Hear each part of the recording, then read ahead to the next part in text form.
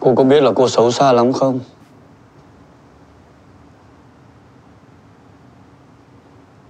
Sao cô lại quay lưng với tôi? Anh vẫn còn tin tưởng tôi sao? Tôi có nấu cháo sườn hầm rau củ. Anh ráng ăn một chút nha. Nguyên ngày hôm qua, anh đã chưa ăn gì hết rồi.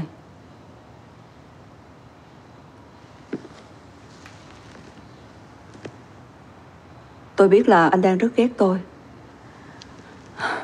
Tôi cũng không còn mặt mũi nào đối diện với anh.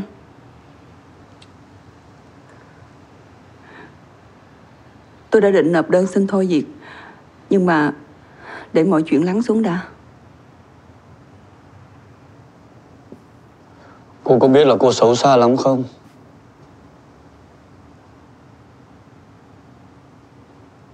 Sao cô lại quay lưng với tôi? Cô quên hết tất cả những gì mình nói với tôi rồi sao? Chúng ta cùng nhau thực hiện ước mơ. Cùng nhau vượt qua khó khăn thử thách không bao giờ bỏ cuộc.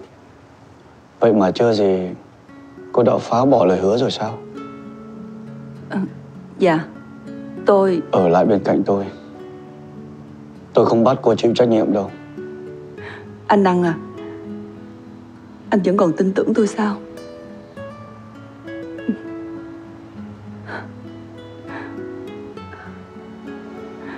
Anh có thể hứa với tôi một chuyện được không? Anh đừng đuổi việc Trúc Mai nha. Được rồi. Đầu giờ chiều nay tôi sẽ bay sang Sinh để làm việc với bên ô trạc.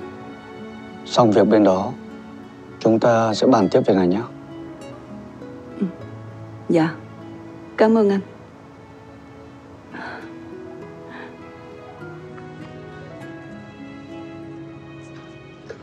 Cô Trúc Mai, những gì cô nói sẽ được ghi âm lại làm bằng chứng sau này.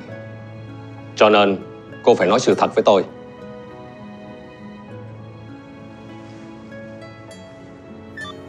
Có phải cô đã lấy công thức pizza gà cay 4 cấp độ của nhà hàng Hồng Châu để phát triển thành thực đơn mới cho dự án tinh hoa Daily Online hay không? Còn nhớ lần đầu tiên chúng ta gặp nhau không? Lần đó Em nói là sẽ luôn tin tưởng chị, đúng không?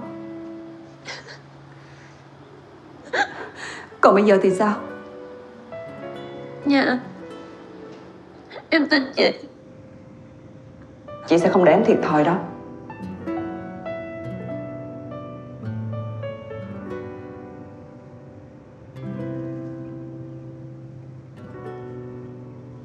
Dạ. Đúng là lỗi của tôi ạ 20 giờ xem gì trên V Channel. Thứ hai, ba, tư đón xem Hoa Vương. Thứ sáu, đừng bỏ lỡ người ấy là ai mùa năm. Thứ bảy, chạy cùng Rap Việt mùa ba Đặt lịch xem ngay lúc 20 giờ. Xem sớm nhất trên ứng dụng Vion.